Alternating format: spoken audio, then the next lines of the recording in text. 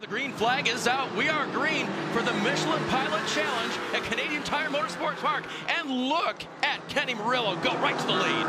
Yeah, he does, and he takes his teammate with him there. Mark Miller aboard the number 56 car, so they get in front of the Toyota. Now the Toyota Finetti trying to come back as they enter turn two. Alan Brynjolfsson in the bright yellow Volt Racing Mustang, excuse me, Aston Martin slides in as well. Meanwhile, on the right-hand side, you see the start there, and a nice jump by Tyler Maxson in the Hyundai. He scoots right out ahead of Chris Miller in the Audi. Yeah, that was a nice job there. He just got that turbo little two-liter motor up on the pipe nice and early and takes the lead from the pole. And you see already, Bryan Herta Autosport, Hyundais racing against each other. oh, no big move by Alan Brynjolfsson. That was big commitment there. Probably got in the ABS. Nearly gets into the back of the Toyota. Again, the split start here, GS on your left, TCR on your right. That won't last forever because the GS cars are a bit quicker. Some of them will catch the TCR cars before this is all over. And remember, two drivers per car. There will be a driver switch, minimum drive time, 40 minutes on the afternoon. Here comes Hugh Plumb, trying to take advantage there with that big commitment by Alan Brynjolfsson. That was a bit of a mistake, I feel. Got very lucky there for the championship leader. He did not get involved, but that gives this TGM Porsche a run up the Mario Andretti straight away, and Hugh Plumb takes that position back. Murillo, Mercedes. McCann there, nice out. move yep. to the inside. There's action everywhere, Dave. The red and white out. Uh, now Porsche taking over that position. Here's that move you were talking about. Yeah, down through turn four, just gets on the brake super late. Oh, look at my. that. He's up and over the curb, and he just misses that Toyota. Great job of recovering that situation. It was a little bit out of control at that point in time. You know, that wouldn't be the first time we've seen things described as a little out of control on this track. It's high speed and high commitment. Yeah, as I said, it's like a runaway train coming down through these uh, first four or five corners. 64 car having a problem. There's Ted Giovanis. If he had a little bit of help, we will find out. Take a look at it here, see how this one evolved. This is uh, turn two coming down the hill. So it's on the approach to turn three. He's got those TCR cars around him everywhere. You can't hit the disappear button. Ooh. Just big commitment there down at the inside. And Ted didn't realize that he was coming, it looked like. Yeah, that was a battle for position there. Parker Chase, the other car contact there with Giovanis going for position. Yeah, Ted just made an abrupt move. There's nothing that Parker could do about that. So uh, I think that's going to be called a racing incident because I think Ted made a little mistake there in terms of not recognizing that Parker was committed down to the inside. Hopefully no damage to that car. He and Owen Trinkler get back in the mix here today. Got the Porsche 17, 718 GT4 RSCS fired back up. Yeah, and this Cayman's been really impressive. Debut season with this new Cayman. Just has a rich history with the Cayman being successful in this category. They came out with a new car this year. Oh, and there's a bit of drama. Ernstone maybe getting together with someone trying to get into pit lane, maybe some miscommunication. I wouldn't think strategy this no, early, Cal. I think someone was dying for pit lane. This is the uh, number 19 car of van der Steur. Rory van der Steur brings He may have died for pit lane to see if Gavin was uh, committed to the outside. Oh, yes, he, he was. Oh, that was a wild moment. Look at Gavin. What a great move. Yeah, that was good evasive action. That cost him a ton of track position, as you can see. I could have gone bad five different ways as van der Steur brings his Hyundai. Watch this. van der Steur's out there in the, the grey. I think he may have cut down tire and says, I've got to get to pit lane. And Gavin's like, I need to somehow stay on the racetrack.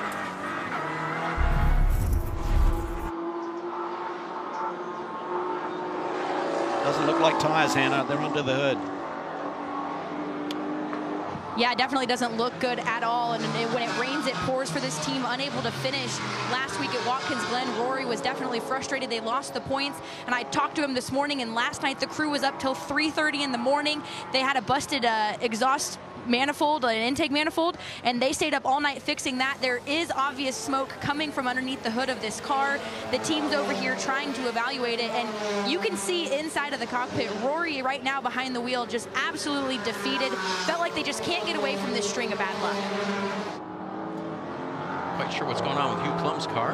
No, he'd been making some early moves. Had gotten around a couple of car there, cars there in the opening lap. So this is another team that just can't seem to catch a break, can't get on a roll. You'd think the Plumb brothers would have been seeing victory lane on a more regular basis than they have. So much experience, so much talent in that whole group led by Giovati on the engineering box.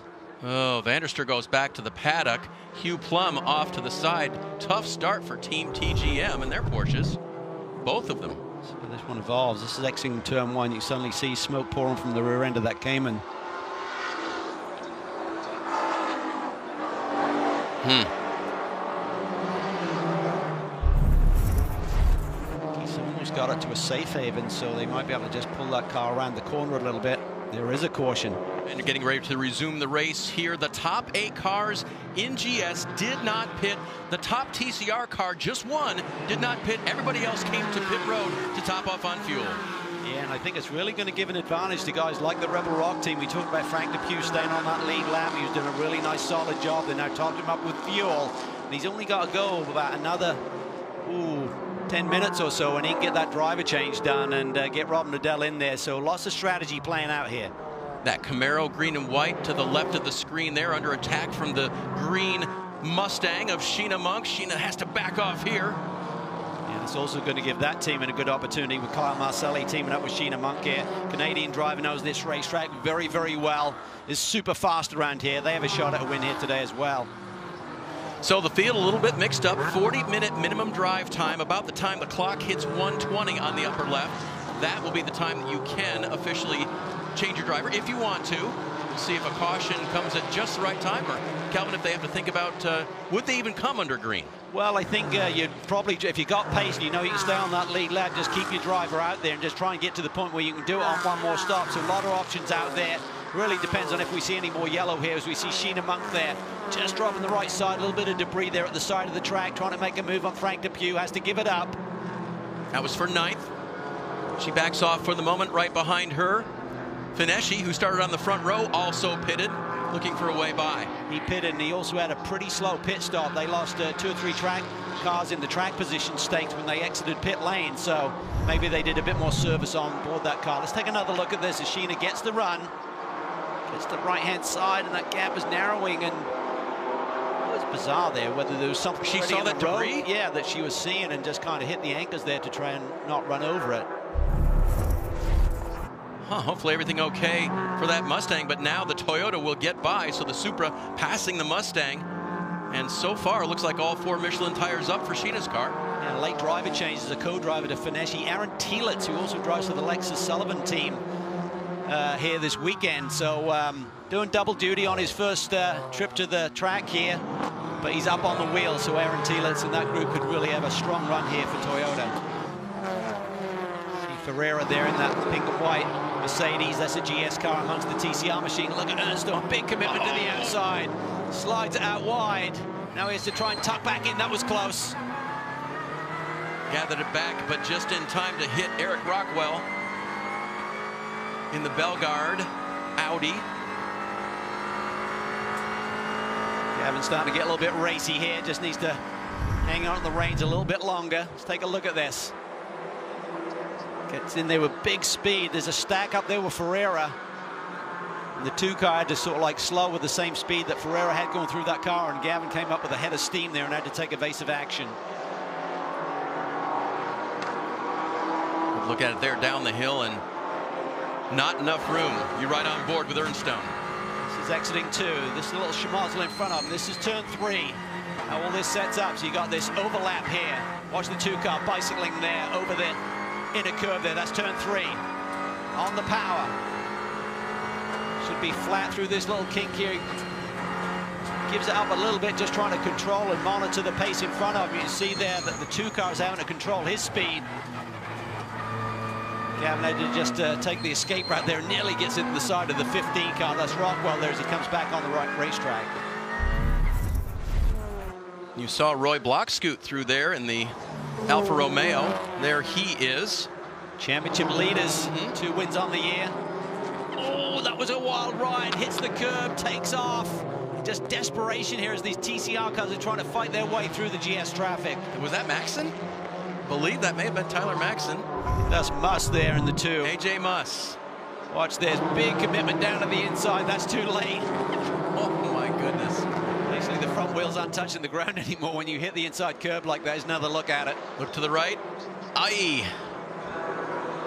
Just enough escape road over there. Watch this. Watch as the car hits the bump here. boom. Oh my goodness. Don't worry about if there's any suspension damage. That's a big hit. I mean, the Hyundai Elantra is a tough race car, but come on. AJ, former snowboarder, took it over the uh, the lip there pretty hard. did.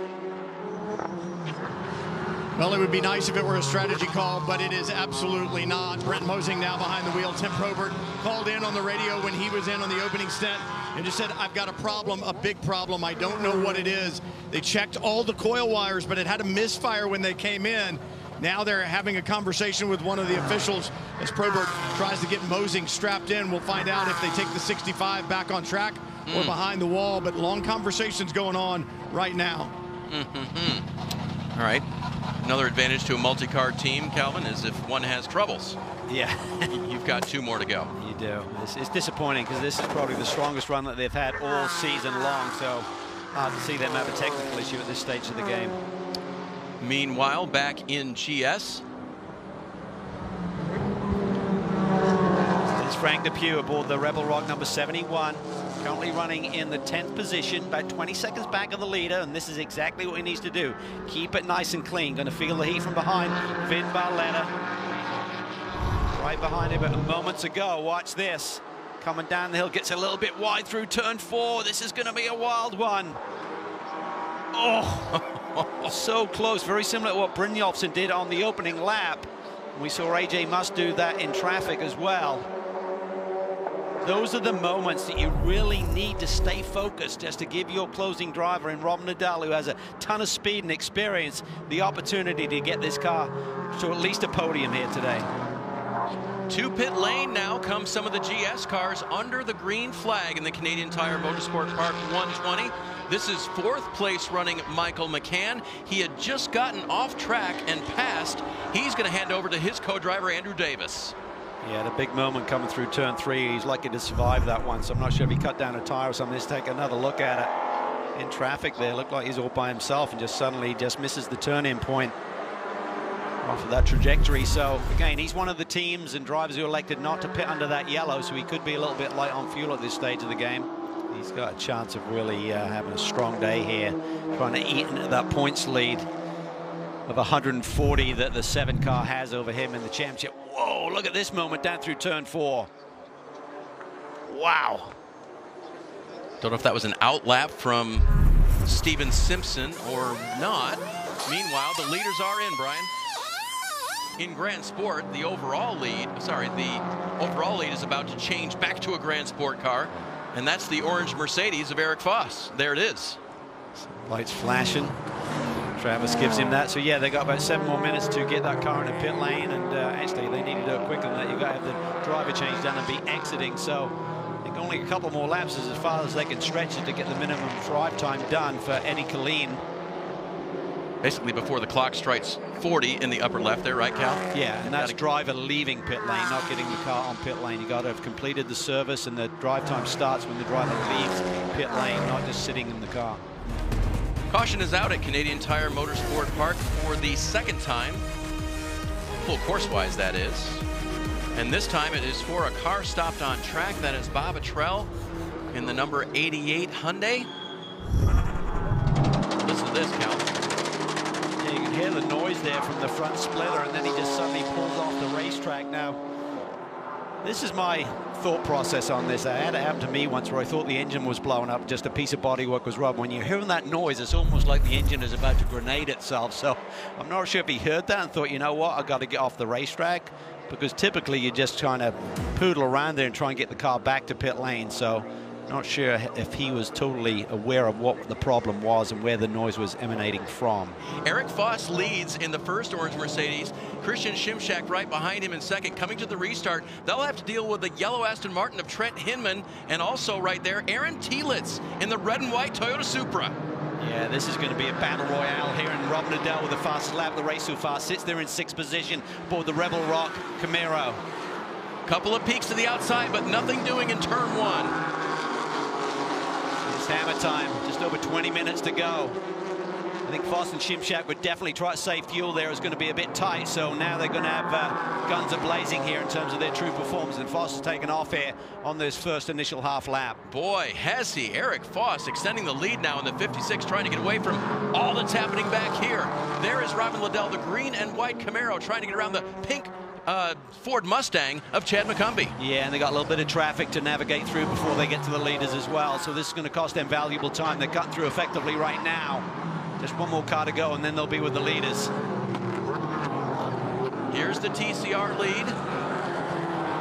As expected, jumping away, Mason Philippi. Mark Wilkins in second, the second of the blue. Hyundai Elantras, the third one is Harry Gottsacker. Philippi with a great restart there has really got a big gap on his teammates here.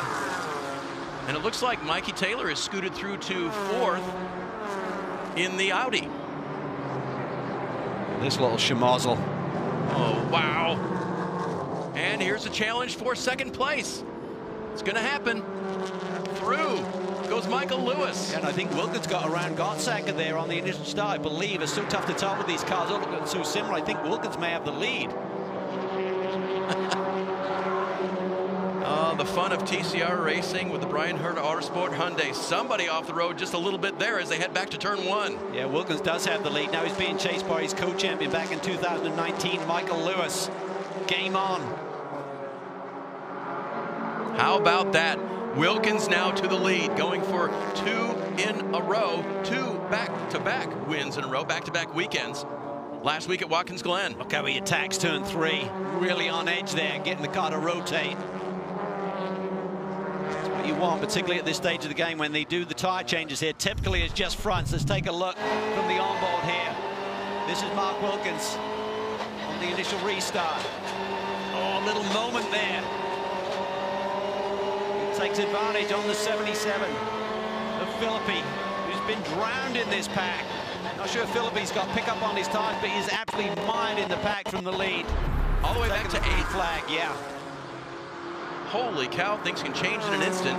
This car did not look happy, did it? If you get a lot of pickup as you're driving around under caution here, suddenly feels like you got a punch of the car will just not respond.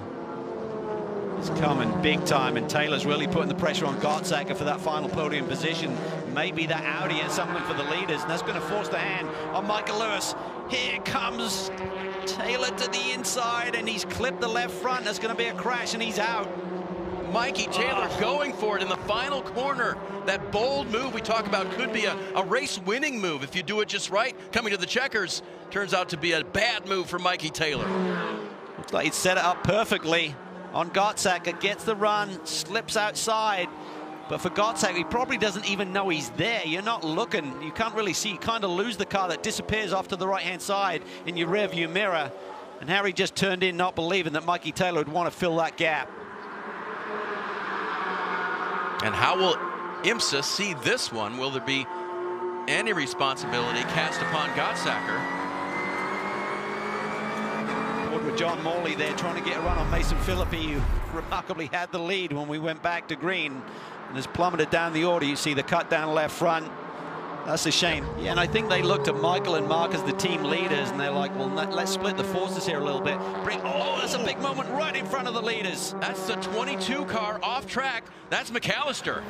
That was a wild ride. Nice job there by Wilkins by just keeping his head there, not panicking. Let's take a look. This is turn three again. It's a problem area. The road continues to turn and you just run out of room. Car's on the wrong trajectory, the wrong radius there. And it just picks you up and almost vacuums him off the circuit. How did he keep it out of the barrier? Oh, just. Yeah, I'm not sure if that left rear quarter panel maybe got a little piece of the tire bundle there, but that was a very close one, being a big, big one. Hey, look how it's tightening up. Here comes Robin Liddell. He's got around Telitz. Now he's putting the pressure on Hinman. The Scotsman Liddell trying to run down the American Trent Hinman, championship leader in that seven car. He's got a lot to race for today. Doesn't want to get into too much trouble with Robin at the end of this race. Oh, got to think big picture. A little twitch there by Eric Foss. He turned in over the top of the hill. That's going to make his teammate ever closer. Shimshak on the charge. Taking a look now, Christian Shimshak. Does he get the 72 around? Right-hander here, he can't do it. That was a little mistake by Eric Foss there, whether his car's just not keeping its balance here late in the run. Look at Liddell looking for a way through. Shimshak's car, second in line. It has been the best of the three Murillo Racing Mercedes this weekend. It was on pole, and it's trying for the win here if he can get by. Well, his teammate, we used to work for the team as an engineer, so he knows how to set up a race car. He's got a good car for his teammate with a 72 car, putting the pressure on for the lead now. Down the long Mario Andretti straightaway. Will this be the opportunity that Christian Shimshak has wanted? He's going to get side by side. What will they do going to high speed turn eight? Fast as canny, fast as canny. He kind of creeps out to the outside there, doesn't want to give him the room. Fights it to the apex. Nice job by Eric Foss there, just really heads up driving. Another right-hander. Shimshak couldn't do anything. Hinman still holding off Liddell. Liddell there trying to set up this final corner and get the run. These cars are so evenly matched. We talked about the parity in this championship. Five different manufacturers seeing victory lane so far this season. Can that Camaro get to the front and make it six, or maybe the Toyota even? Traffic in and out of the way nicely for Eric Foss.